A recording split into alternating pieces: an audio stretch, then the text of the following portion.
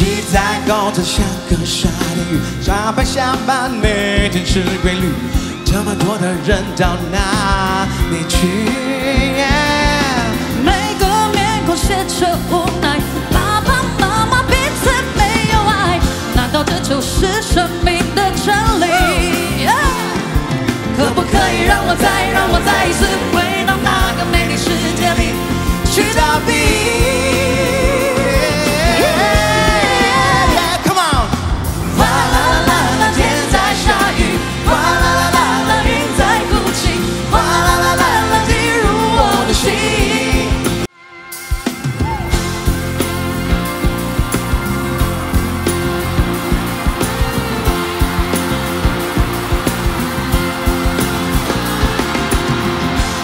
Yeah！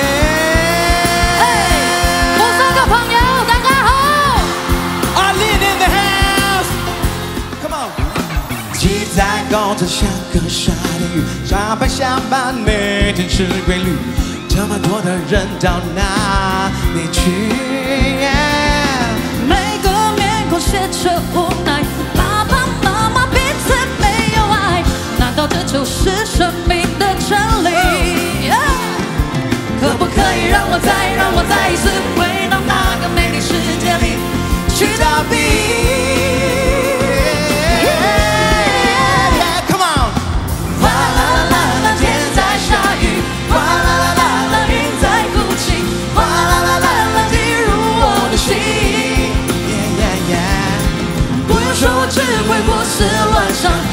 跟我说我只会妄想，哗啦啦啦啦，让我去淋雨。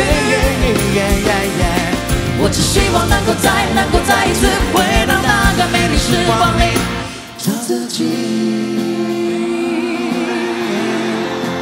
Yeah, yeah. 有你在，我还需要找自己吗？还是要找。躲在我的屋檐下面哦睡在我的被单里面哦，听着细雨滴滴答答，滴滴答答，滴滴答。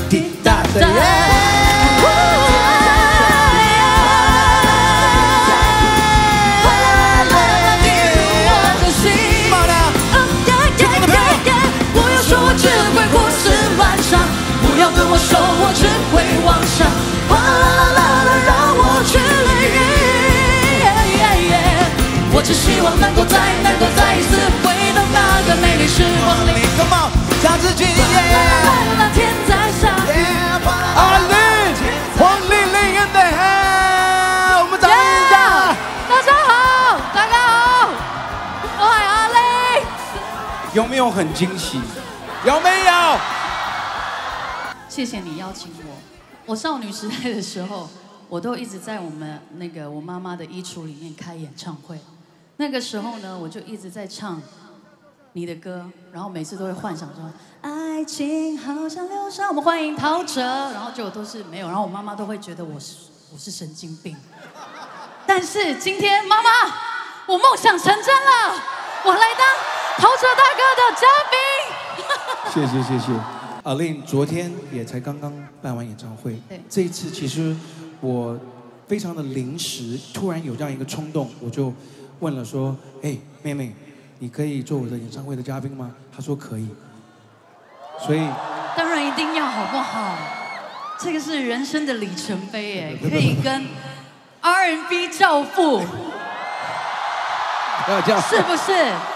但是我还有一个是的一个愿望要实现，OK，因为我通常都是都会呃，比如说去录音室啊，跟很多朋友合作的时候，我都会在我的歌词本里面签名。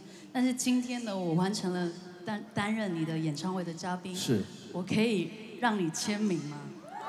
哇哦！而且我发现，你觉得我们今天这样的衣服好看吗？好，一定要在那边签一下。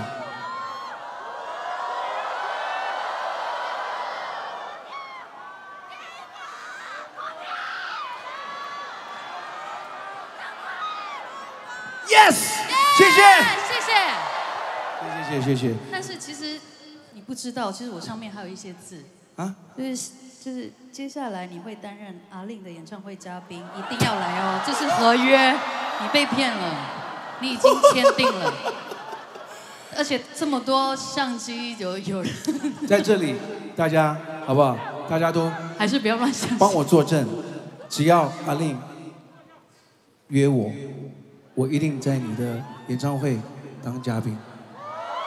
不好意思，那个经纪人，你一定要记住他的话哦。